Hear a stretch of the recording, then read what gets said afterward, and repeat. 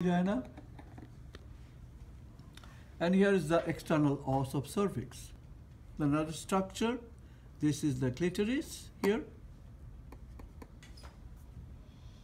Uh, cervical canal, uterine cavity, fundus of the uterus, body of the uterus, and this is cervix. And also there is uh, this structure, look. Can you see this? This is called a round ligament. Look at that, round ligament number 17. This. And this is broad ligament. This is uterus. The round ligament is also attached to the? No, uterus. Ovarian ligament is number 16 here. Ovarian ligament is attached to the ovary. And then ultimately, another end attached to the uterus. Okay? All right. So, these are the structures. Ah, I hate that too. I don't like that. Okay, then.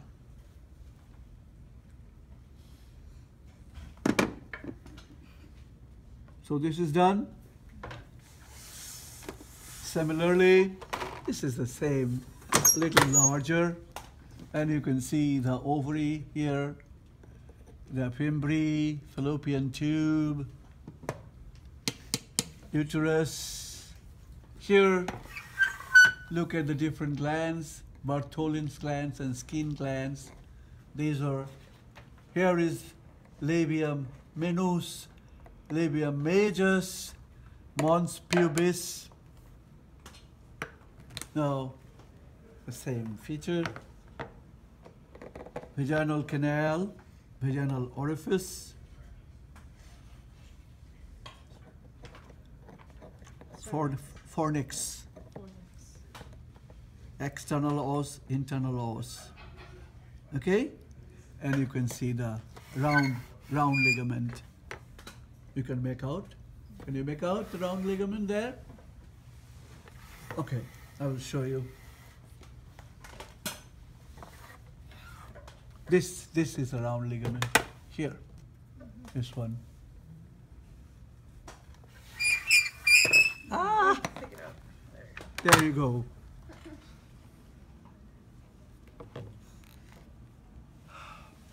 How much time do we have? We have, we have time. Uh, I will let you go at uh, oh, 125, okay?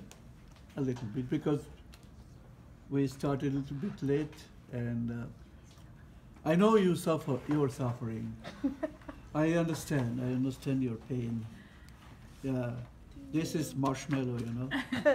Total, totally marshmallow. So, um, next day I will go over the male models and also one female. Can you see all those two? Those two models?